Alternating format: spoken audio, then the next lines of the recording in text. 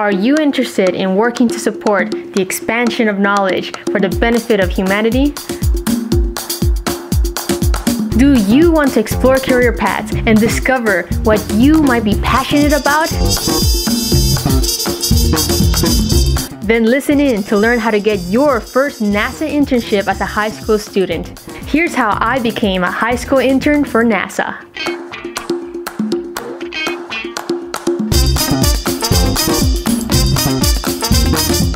Bienvenidos! Welcome back, my people. I'm your host, Aida Yoguely, and mathematics and computers have always fascinated me. Back in high school in Puerto Rico, I would spend time with my friends solving problems just for fun. When I wasn't nerding out, I was skateboarding or rocking out to the electric bass. Then I learned that for a summer, I could work directly with NASA engineers, doing work that matters. Plus, I would receive money for my work.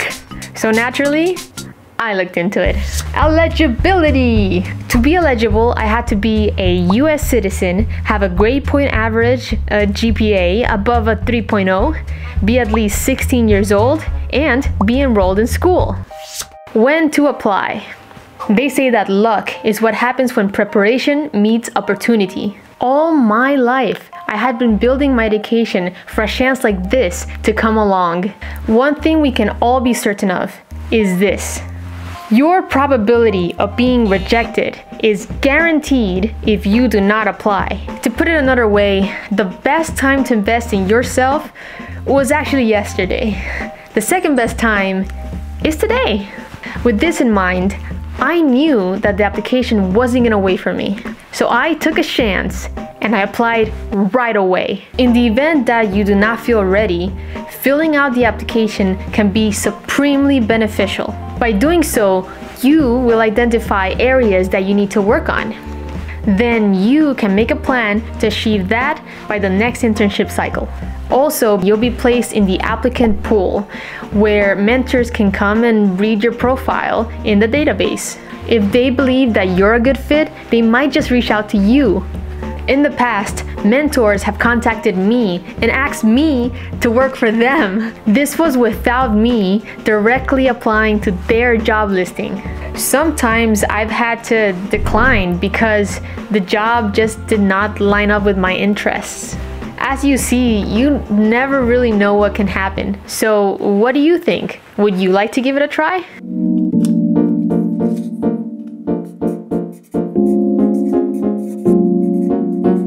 The summer application officially closes in late spring. However, by then, most mentors have already matched students for the job positions. I would recommend applying by mid January, the latest. Like they say, early bird gets the worm. Do I have what it takes? Here's a question from one of you on my social media. Hi, I'm from San Jose, California. I just saw a video on YouTube that you did on high school students being an intern at NASA. Like at school, the problem sets are always given to you and like the teachers just like tell you how to do it and you just kind of like follow a procedure, I guess. But then like here at NASA, the problems like they're not explicitly given to you and they kind of just come up in your research and you have to find like your own way to solve the problems here. I've been thinking about being an intern next summer. I'm really interested in astronomy and I have an astronomy club at my school, but I don't know if I have what it takes to be an intern there. My math grades are always C. My chemistry teacher always tells me if I really have a passion for astronomy, I can work at NASA. How can I be an intern next year? Well, first of all, you don't have to be like a first place winner or even half straight A's. That just shows how good you are at doing those specific things, at solving those specific problems. Back in school, I won first place in the state math competition across of all Puerto Rico. If you ask me those same problems today, I might not know the answer right away, but I would know where to find them. An educated human knows where to get the knowledge when they need it and how to organize that information into a plan of action. Very rarely will you ever go into the real world and see the exact same problem you saw in math class. Most problems in the real world have no step-by-step -step instructions and no exact solution. So, to answer your question, uh, reflect on your extracurricular activities. If you can show that you are a critical thinker who is resourceful, able to process knowledge, and collaborate in teams, then you have a pretty good chance of being an intern. Three tips to nail your high school internship application. These tips come in handy for other companies and colleges as well, so keep your ears open. Tip number one tell your story about what you're capable of. Allow me to illustrate an example. In my application, I listed out my computer skills, such as coding web pages with HTML. Then in my essay, I shared how I applied these abilities, like how I designed a website showcasing the math club's recent activities. Finally, in the letter of recommendation, my teachers assessed and backed up my capabilities using their own point of view. Picture this the form is like a spider web, where each keyword appears connected in many sections of the application. And the big picture shows how you and NASA or any other company can benefit from each other. Your chances of getting in totally skyrockets if you can demonstrate that. Tip number two Put yourself in your employer's shoes. Ask yourself, what is the employer's objective? In any job application, the objective of the employer is to hire the most qualified person available to do the work they need done. So find a job position that aligns with your current skills and interests. Here's my rule of thumb. If you feel that you can do over half of the tasks that are listed, then it's worth a try. Bosses do not expect you to know everything on the first day of the job. Regardless, managers do expect you to be a fast learner, to figure it out, and to get the job done. Tip number three show how you fit in with the work culture. Employers want to hire someone who can work comfortably in an environment that shares their missions and values. Taking five minutes to read your employer's purpose will place you ahead of the game. Let's see what NASA's website has to say.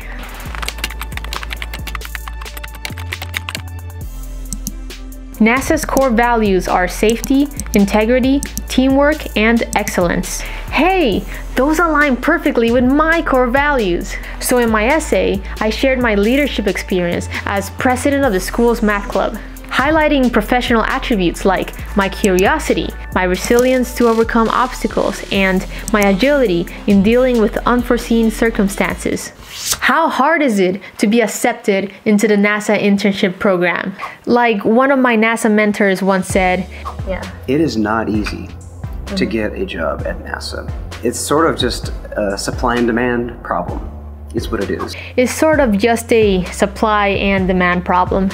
If a NASA mentor doesn't select you, it doesn't mean that you are inadequate. Not at all. It could mean that spots are not available anymore, mm, too much supply, or you're too late. Or it could mean that there's no need for someone with your skills and experiences right now. No demand. When it comes to applying to jobs, rejection is a common occurrence. From an early age, it was clear to me that there are things over which I have control, like the goals I set for myself. Then there are things over which I had absolutely no control over, like whether there are a thousand other applicants. Then there are things over which I have some control, but not complete control, such as whether the program accepts me or not. For them to select you, your focus must be on making the best effort and then submitting it to as many job listings as possible until you land the one you desire. Too many people are smarter than me. It's too difficult to stand out. When I applied, I never doubted my competence, and my focus was never on the competition. That's a distraction. I had full confidence in myself, and I could visualize myself standing at NASA's launch pad, typing away in a cubicle, shaking hands with brilliant scientists. This is the first step. Believe in yourself. Then make a plan and get help from your teachers. What disciplines or areas can you work on at NASA? When you're a high school student, you don't yet have a major or a degree. Nevertheless, your skills can still be used to make a valuable contribution to the space program. In high school, NASA picked me because of my communication and programming skills to make a website for a branch at the Kennedy Space Center headquarters. For this, I spent half of my time interviewing professionals, understanding what they do, and then I spent the other half of my time coding it into the system. Even though I did not have specialized engineering skills at the time, I became part of the NASA network. This connected me to real rocket scientists and many different engineering fields. The topic for the work might be a little advanced, but it'll be doable for your education level. For instance, I've met high school interns who've worked in altitude chambers. Others have worked on CubeSat technology, databases, doing ecological research, pressure vessels, and even in material science. Students could even work in business, marketing, journalism, art and multimedia, space medicine, and on virtual reality simulations. Gosh, that must be a lot of fun.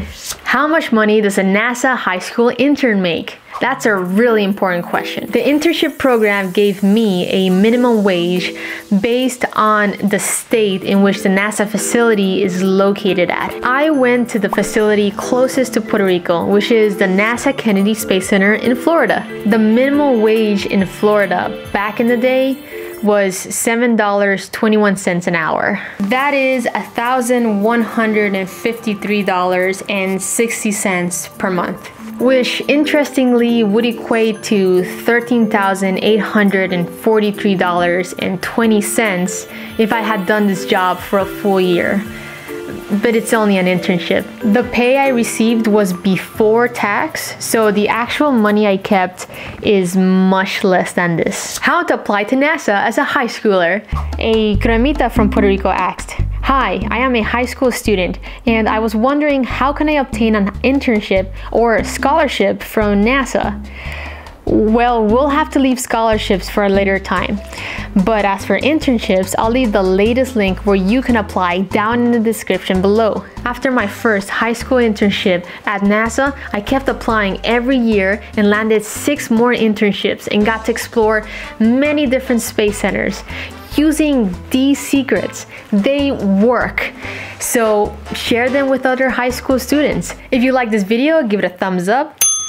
Leave your thoughts in the comment section below or check out the link in the description where you can join our community forum. I'll be answering your questions there. I'm Aida Yoguely, thanks for watching, and I'll see you next time. That's all folks.